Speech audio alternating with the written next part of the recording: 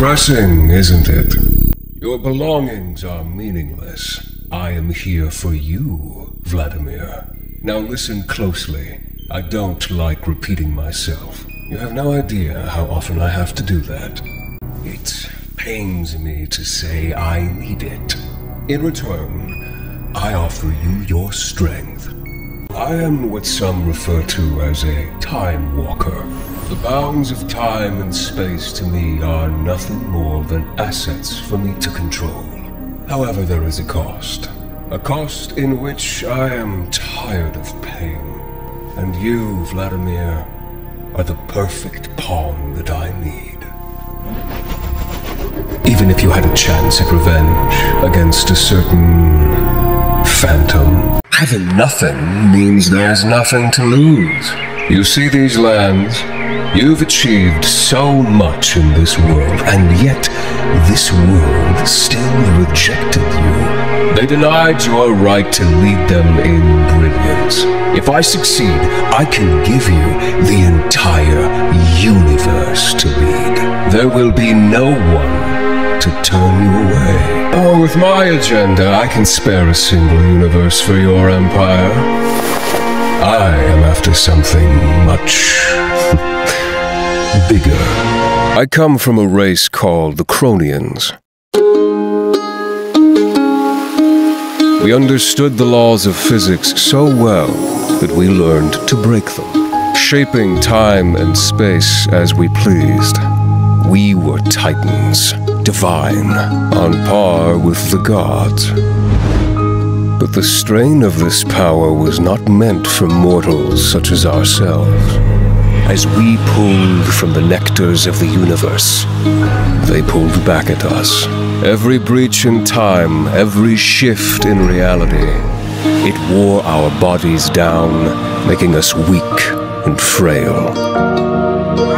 From this weakness came anger. From this anger came war. That much power made us reckless, and our race was dying.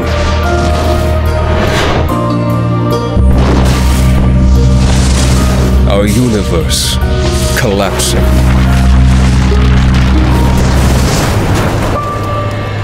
We needed a new home.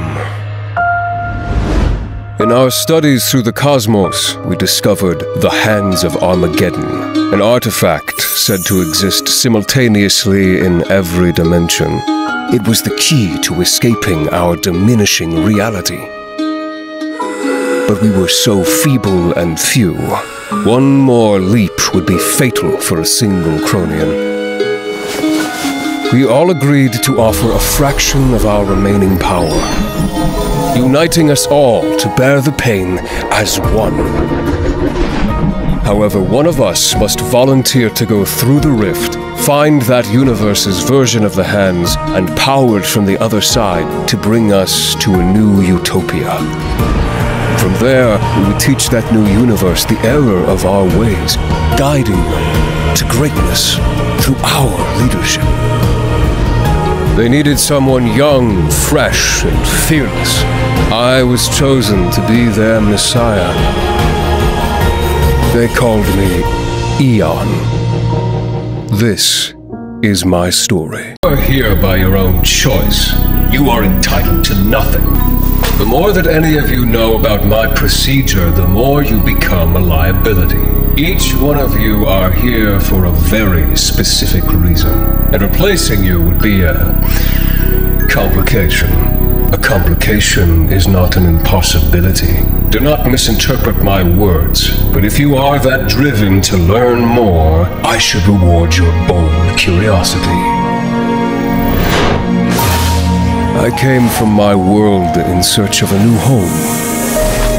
But as I am still Chronian, every leap through reality made me weaker.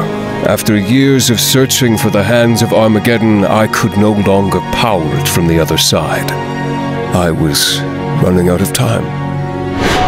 Through my voyage across the multiverse, I learned of the Omnitrix, a device that allows the user to transform into an arsenal of alien creatures. A young human boy from Earth was the wielder of this device. I predicted it could create a new Chronian to replace me in my travels. I needed that device. I needed Ben Tennyson. Alas, it took a few tries.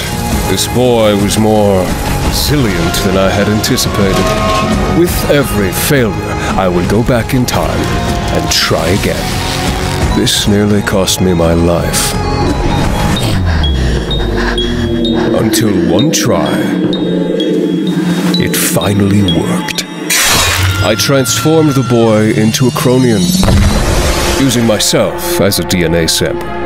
And as my consciousness drifted into his body, I was reborn anew. But I soon found this solution to be only temporary. This body would one day fall too. Every time my body would reach its limits, I would go to a new universe and obtain another Ben Tennyson.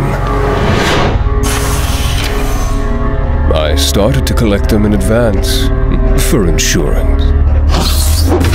Some would become my pawns, others experiments. My fate became so intertwined with this boy for a time, I started to believe I was Ben Tennyson. But no longer.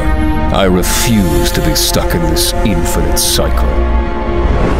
I will transcend to greatness beyond what my people could ever do. Then I will deliver paradise across the multiverse. That is my destiny. In due time, everything will fall into place. Take this humble gathering with vigilance. We are not companions. This will not happen again. My apologies. I can't hear you over your soul slipping away at my hands. Now learn your place. Another large use of my abilities, such as a jump through time, will wear this body to ash. I refuse to continue this cycle any longer. This will be my final body. It will be these lungs that take the first breath of my people's new destiny.